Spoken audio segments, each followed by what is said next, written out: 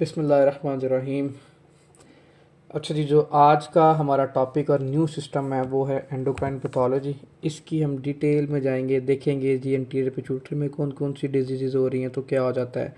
Posterior pituitary में disease हों तो क्या क्या हो सकता है। ठीक है, आज का जो हमारा टॉपिक है, वो है एंटीरियर पिचूटरी ग्लैंड डिसऑर्डर इसमें सबसे पहले हम डिस्कस करेंगे पिचूटरी एडिनोमा देखें पिचूट्री एडिनोमा में मैं सबसे पहले आपको ओवरव्यू दे दूँ, फिर इसको हम अच्छे से डिटेल में कर लेंगे एडिनोमा में क्या होगा। इसमें ना या तो ये फंक्शनल हो सकता है, एडिनोमा आपको पता बिनाइन ट्यूमर होता है, या तो नॉन फंक्शनल हो सकता है। अगर हम बात करें फंक्शनल की, बच्चों फंक्शनल में पता क्या होगा कि कोई ना कोई आपके हार्मोन के साथ इशू होगा। ठीक है? हार्मोन्स के साथ इशू होगा। लेकिन जो नॉन फंक्शनल है, उसके अंदर पता क्या होगा? आपके जो लोकल स्ट्रक्चर वहाँ पे पास प्रेजेंट हो गया ना, वहाँ पे उनका इशू होगा। ठीक है? सबसे पहले हम डिस्कस करेंगे according to book non functional कौन से होते हैं नॉन फंक्शनल फॉर एग्जांपल के मैं आपको समझाने के लिए, समझाने के लिए ये एक ब्रेन पड़ा हुआ है ऐसे ठीक है? ये यहाँ पे ऐसे एक ट्यूमर हो गया। बिनाइन ट्यूमर है पिचुट्री एडिनोम है अब मुझे बताएँ, यहाँ पे हमारा पड़ा हुआ है एक ऑप्टिक क्याजमा ठीक है ऑप्टिक नर्व जाती है ऑप्टिक क्याजमा के पास और फिर मतलब कि आपके कंप्लीट विजन एक नॉर्मल पर्सन देख सकता है। यहाँ पे पड़ा हुआ ऑप्टिक क्याजमा अब मुझे बताएँ, जो ये ट्यूमर था वो ऐसे बढ़ता बढ़ता बढ़ता बढ़ता, ऐसे इसको कंप्रेस करेगा ऑप्टिक क्याजमा को। डेफिनेटली ऑप्टिक क्याजमा को कंप्रेस कर देगा। जब आप ऑप्टिक क्याजमा को ये ट्यूमर कंप्रेस करेगा अब मुझे बताएँ जो विजन थी वो नॉर्मल रहेगी? डेफिनेटली इट्स नॉट नॉर्मल अब ये नॉर्मल नहीं रहेगी। ठीक है? अब देखें, अगर for example optic chiasma compress हो गया तो पेशेंट को क्या हो सकता है? बाई टेम्पोरल हेमिनोपिया अब ये बाय टेम्पोरल हेमिनोपिया वाली क्या कहानी है? ऑप्टिक क्याजमा कंप्रेस हुआ, उसकी वजह से बाय टेम्पोरल हेमिनोपिया हो गया। ये दो आइज़ हैं। इनकी जो ये आउटर सरफेस है ना, ये बाहर वाली, जो लेटरल पार्ट है, यहाँ से, ये वाला। मैं इसको, ये वाला ये वाला। आउटर सरफेस की क्या हो जाएगी? विजन लॉस हो जाएगी, जो आउटर पार्ट है। और इसको हम क्या कहते हैं? बाय टेम्पोरल हेमिनोपिया ये ऑफ्थोमोलॉजी में न्यूरो में हम डिटेल में जाएँगे ये क्यों होता है, इसके पास से और कौन से स्ट्रक्चर होते हैं जो कंप्रेस हो जाए तो फर्दर डिज़ीज़ हो सकती हैं। अब देखें, अब जब यहाँ पे एडिनोमा साइज़ में बढ़ रहा है, ऐसे बढ़ रहा है, बढ़ रहा है, बढ़ रहा है, बढ़ रहा है तो जो आपका पिचुट्री है ऑल दो वो अंटीरियर हो या पोस्टीरियर हो, वो भी तो कंप्रेस करेगा ना तो पेशेंट को हाइपोपिचुट्रिज्म हो सकता है इसकी वजह से। डेफिनेटली हो सकता है। क्योंकि जब आपका पिचुट्री ही कंप्रेस हो गया तो वो सही तरह डेवलप नहीं हो सकेगा। जब वो डेवलप नहीं होगा तो क्या होगा? हाइपोपिचुट्रिज्म हो जाएगा इस पेशेंट के अंदर। ठीक है? और थर्ड फीचर इस पेशेंट के अंदर हम क्या देखेंगे? हेडेक सर दर्द होगा पेशेंट का। ये तीन से चार इंपॉर्टेंट फीचर्स थे जो हम किसके अंदर देखते हैं? नॉन फंक्शनल ट्यूमर के अंदर। लेकिन आज का जो हमारा मेन टॉपिक है वो है फंक्शनल ट्यूमर देखें, अब हम बात करते हैं जी फंक्शनल ट्यूमर की। फंक्शनल ट्यूमर में भी सबसे पहले हम बात करते हैं, अब फंक्शनल जो होगा ना, वो बेस करेगा कि कौन से हार्मोन को उसने आपका इन्वॉल्व किया इफेक्टेड हुआ है। फॉर एग्जांपल हम बात करते हैं, जैसे कि मोस्ट कॉमन होता है, वो होता है प्रोलैक्टिन हार्मोन अब देखें प्रोलैक्टिन क्या करता है? मिल्क प्रोडक्शन में हेल्प करता है फीमेल में। ऐसे ही है। फ़ंक्शन तो इसका यही होता है ना प्रोलेक्टिन का। अब एक पेशेंट को पिचुट्री एडिनोमा हो गया फंक्शनल अब मुझे आप बताएँ कि जो उसका प्रोलेक्टिन है, वो ज़्यादा प्रोड्यूस नहीं होगा? डेफिनेटली ज़्यादा होगा। हाइपर प्रोलेक्टिनीमिया नहीं हो जाएगा उस पेशेंट के अंदर? डेफिनेटली ज़्यादा होगा। अब देखें बिनाइन ट्यूमर की वजह से हो रहा है तो इस पेशेंट को हम प्रोलेक्टिनोमा कह सकते हैं इंडिकेट कर सकते हैं। डेफिनेटली इस पेशेंट को हम प्रोलेक्टिनोमा इंडिकेट कर सकते हैं। जो इसका नॉर्मल लेवल होता है प्रोलेक्टिन का यह हमारी बुक पे नहीं मेंशन इस वाली पे, लिख लीजिएगा। जो नॉर्मल लेवल होता है, किसका प्रोलेक्टिन का, वो होता है five hundred micro unit litre ये जो भी इसका वो बनता है एब्रीवेशन आप देख लीजिएगा। फाइव हंड्रेड होता है नॉर्मली ठीक है? ये इसका नॉर्मल लेवल है। किसका? प्रोलेक्टिन का। अब देखें एडिनोमा की वजह से इसका लेवल इंक्रीज कर गया। वो थाउज़ेंड भी हो सकता है या फाइव थाउज़ेंड भी हो सकता है। अगर फॉर एग्जांपल उसका प्रोलेक्टिन का लेवल इतना ज़्यादा हो गया थाउज़ेंड से ज़्यादा हो गया, इसको कहते हैं माइक्रो एडिनोमा अभी पेशेंट को माइक्रो एडिनोमा ठीक है? मतलब less than ten M mm उसका क्या है? ट्यूमर का साइज़ अभी। लेकिन अगर उसका प्रोलेक्टिन का लेवल फाइव थाउज़ेंड से ज़्यादा हो गया, ठीक है? इसका मतलब यह अब पेशेंट को क्या है? मैक्रो एडिनोमा और इसमें क्या होगा कि ट्यूमर का साइज़ कितना होगा? Less than ten m mm. अब आपने ये दो से तीन बातें याद रखनी है। इसके अकॉर्डिंग हमने इसका ट्रीटमेंट करना है। जब हम इसको ट्रीट करेंगे ना, इस पेशेंट को तो इसके अकॉर्डिंग करेंगे। ये बस आपने मोटी मोटी जो मैंने आपको एक्सप्लेन किया कहानी, ये अब आपने याद रखनी है। अब हम चलते हैं इसकी डिटेल में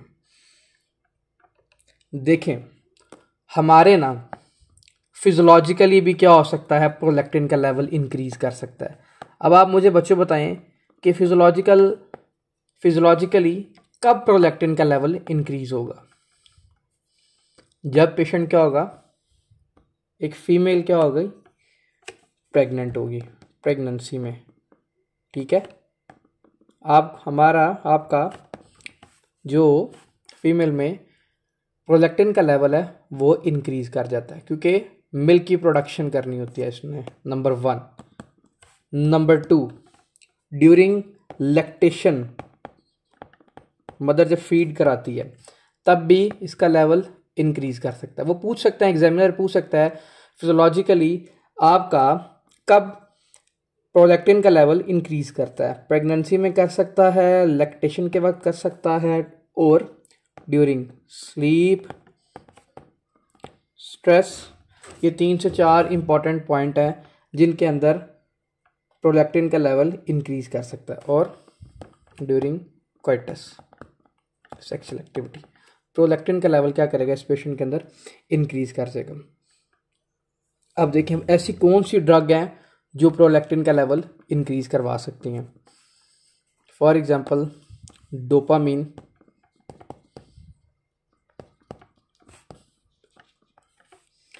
एंटागोनिस्ट अब ऐसी कौन सी डोपामीन एंटागोनिस्ट ड्रग्स हैं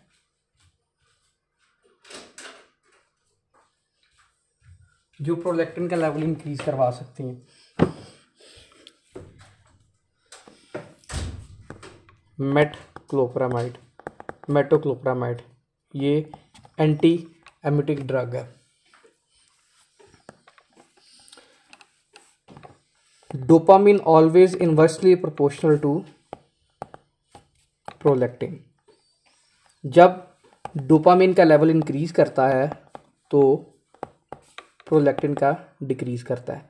अब फॉर एग्जांपल एक पेशेंट के अंदर हम डोपामीन उसको बार बार वॉमिटिंग हो रही है, हम उसको डोपामीन एंटागनिस्ट दे रहे हैं। कौन सी? मेटक्लोप्रामाइड तो वो क्या करेगी?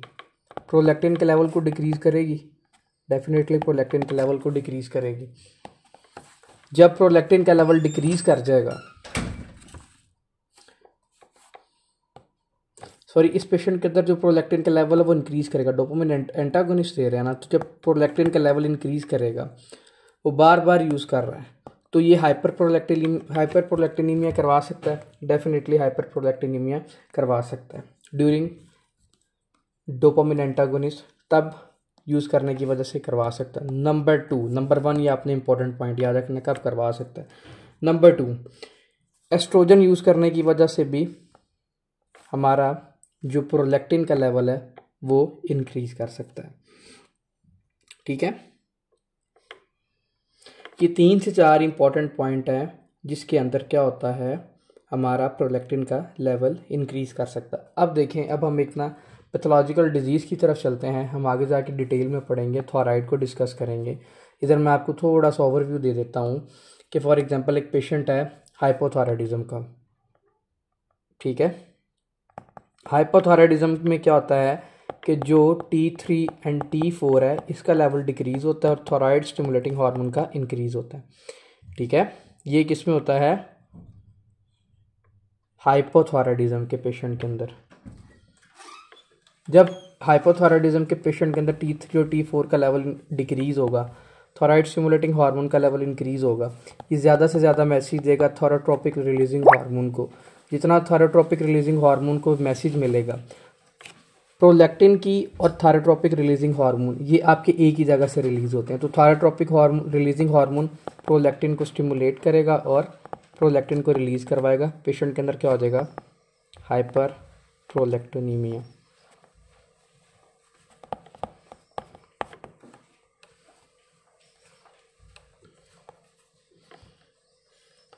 अब इसके क्लिनिकल फीचर देख लेते हैं हाइपर प्रोलैक्टिनीमिया वाले पेशेंट के अंदर क्या क्या हो सकता है।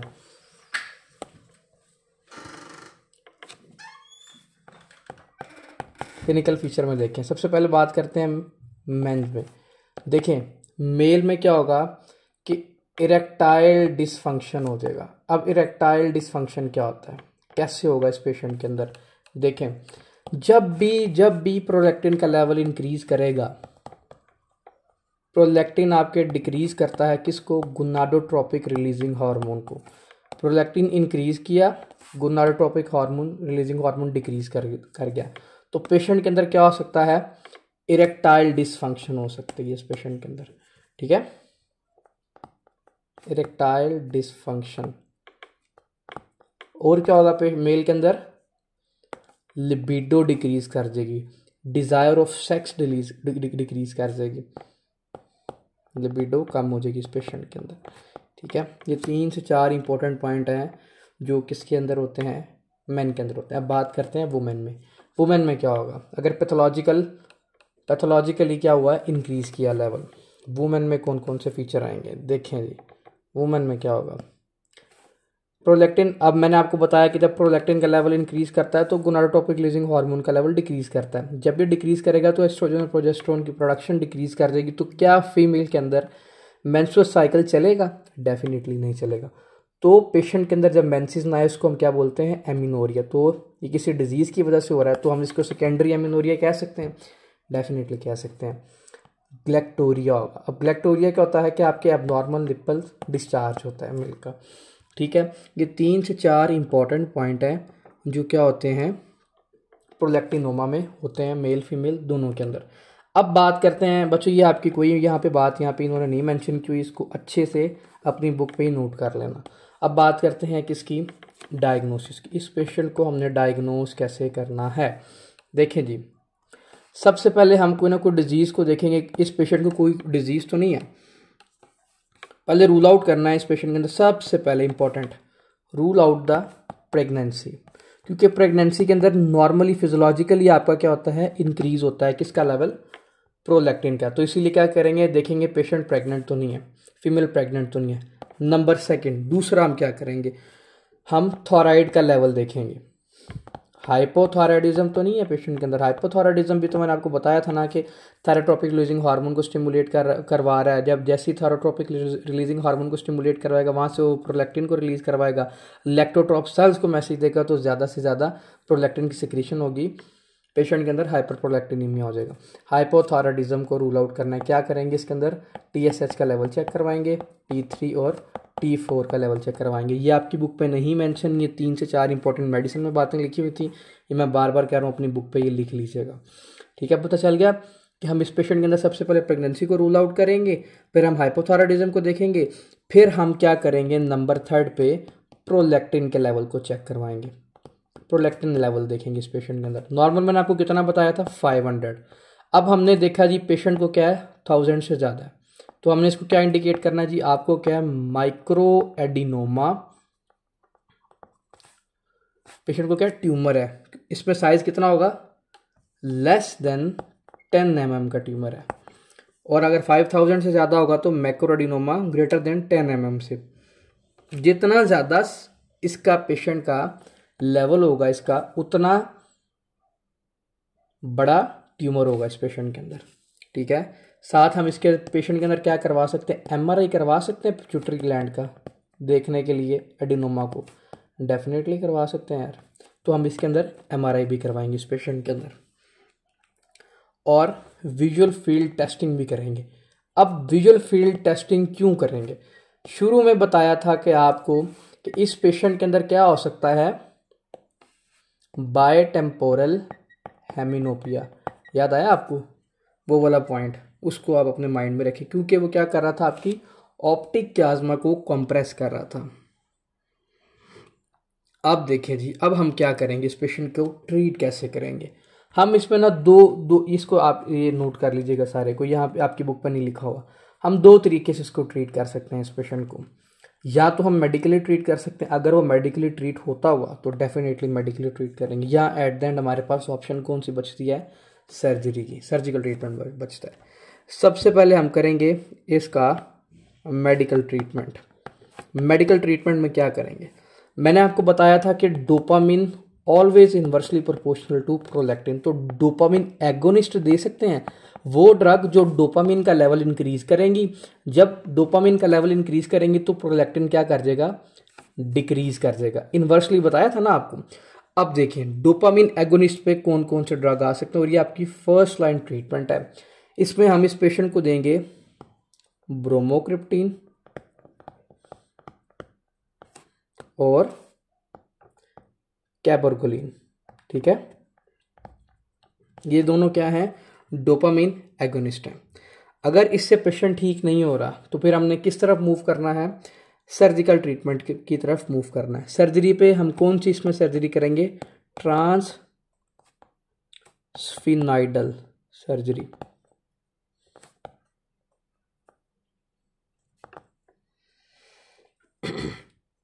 हम उस ट्यूमर को क्या करेंगे? रिमूव ही कर देंगे। ये इसका ट्रीटमेंट प्लान है। अब इसको एक दफ़ा बुक से रीड आउट कर लेते हैं। वहाँ पे ये सारी चीज़ें नहीं मैंशन आप ज़रूर इसको कर लीजिएगा। ये बहुत इंपॉर्टेंट टॉपिक है। एग्जामिनर ज़रूर इसमें से क्वेश्चन पिक करता है। ये देखिए जी। Benign tumour of the anterior pituitary cells में be the functional hormone producing है और नॉन फंक्शनल साइलेंट होता है। Non functional tumour often present with the mass effect bitemporal hemianopsia हो सकता है ऑप्टिक याजमा कंप्रेस कर हाइपोपिट्यूटरिज्म है तो कंप्रेस कर देगा किसको? पिट्यूटरी टिश्यूज को। हेडक हो सकता है इस पेशेंट के अंदर। Functional tumour present with the featured based from the type of the hormone produce prolactinoma हो सकता है इस पेशेंट के अंदर present as a galactorrhoea amenorrhoea और decrease libido and headaches male most common type of the pituitary adenoma हमने already देख लिया। ट्रीटमेंट क्या करेंगे? इसमें ब्रोमोक्रिप्टीन दे सकते हैं या कैबोरग्रीन इस पेशेंट के अंदर दे सकते हैं। और to suppress the prolactin production ये क्या करेगी? इसको प्रेस कर देगी और श्रिंक कर देगी ट्यूमर